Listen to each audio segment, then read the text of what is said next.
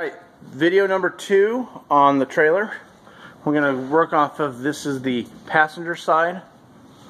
Up here we have the main kit, the trowel kit. Behind here is um, plastic for the zip walls and a toe kicker. Uh, Sigma Max uh, 36, a uh, RTC Razor. Um, back there is a Systainer with spacers, lasers, cutting cutting rail for a, a Festool, uh, carpet kit, plumbing kit, personal protection kit, saw, air scrubber, uh, Festool MIDI box of hand tools, um, grinding inserts, and air scrubber. Let's go ahead and pull out the main.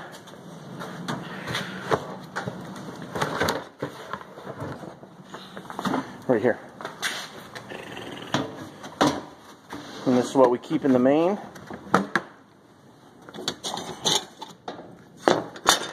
Two speed squares, a template.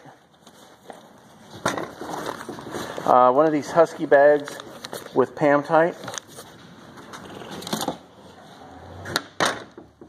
Hot glue gun. What we've done is we've put all our cords on these little um, zip closures Velcro straps, Micah says.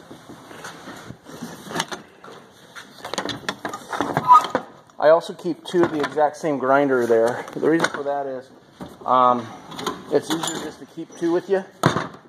A Fein uh, uh, 350 Multimaster. We keep this for the grinders right there. This is one that we don't have a bottom for, so we can put them on and off.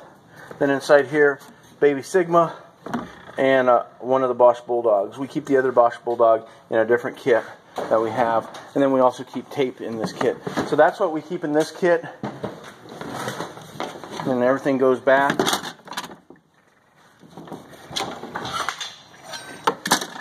You know, they talk about Kaizen and things like that as far as, um, you know, organizing for a job. I don't think Kaizen is the best way to handle it because if you're on a job site uh, and you have a trailer that has,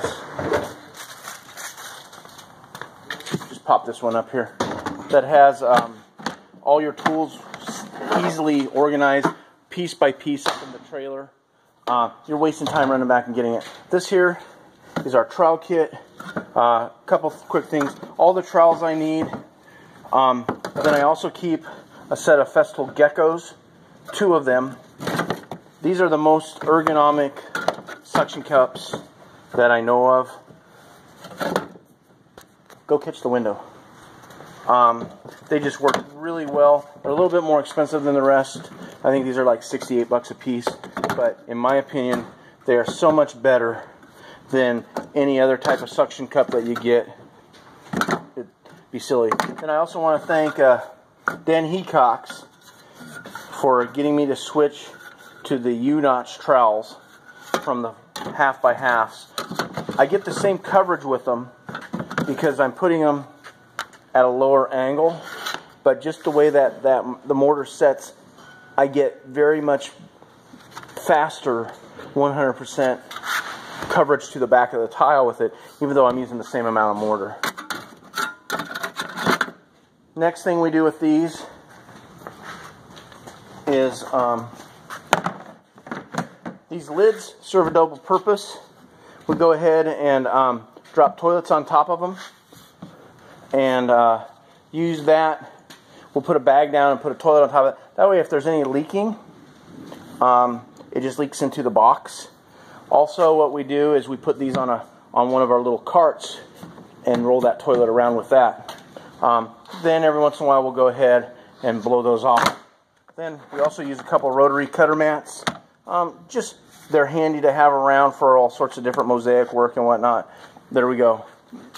Toe kicker. And then this is just a, a bag that we keep our wrapped um, 4 mil uh, plastic.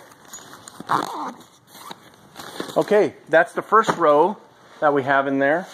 Here's laser kit.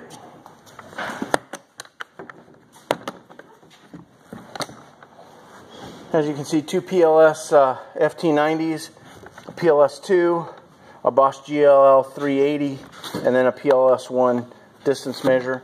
Keep them all in a Pelican uh, 1450. It just makes a lot of sense.